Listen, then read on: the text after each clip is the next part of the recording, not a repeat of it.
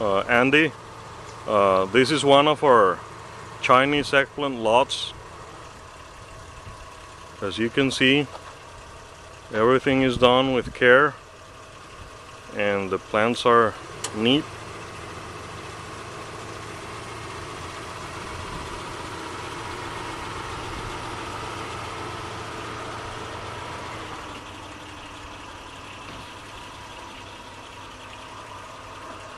But we take the leaves off. We take the leaves off to get more color. If we don't do it, the, the eggplants will be pale. But anything, anything causes a scratch with the Chinese eggplant. Look at this one, very young, and it has a scar, a scar already. Everything causes, look at this one, looks good, and then it's hanging. You don't see that it's touching another eggplant or a stem or the twine, and you get those uh, scars, as you call them. Look at this one. Also, anything, anything you see here, the plants are not that crowded. Anything causes a scratch. Anything causes a scratch. Uh, we would say that uh, taking the leaves off would help with that, but no. Look at this one. This one looks clean. It's the first one that we see so it's very it's it's difficult to get only number ones very very difficult as I've told you before I would say look at this one another one it's very very rare to find an eggplant without without a defect as you can see I have only seen one here and this doesn't mean that we're not we don't know how to grow it's just Chinese eggplant. Look at this one. Chinese eggplant, it's difficult. If it's not, when it's not curved, it's got scratches, scars, something.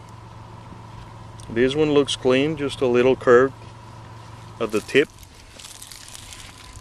We have another one here. It's got a small, small scratch at the tip. So, as you can see, we do things right but it's a very difficult crop we invest a lot of money in these crops we invest a lot of money in taking the leaves off but that doesn't uh, guarantee us that there won't be any scratches. Another scratch. Uh, uh, it's very very hard to find one eggplant that doesn't have any damage at all. We have one small one very small here. Doesn't have it's clean. As you can see they are hanging. And even if they are hanging that doesn't guarantee you that they will come out clean at the very end when we pick them here's a one that it's curved it's hanging but it's curved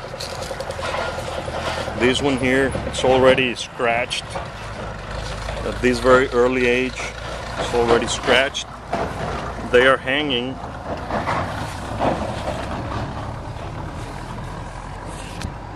Also, when it's cold, we get very, very few eggplants. They don't grow at all.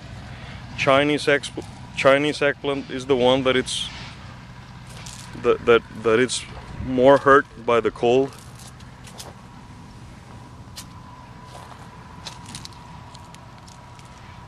Okay.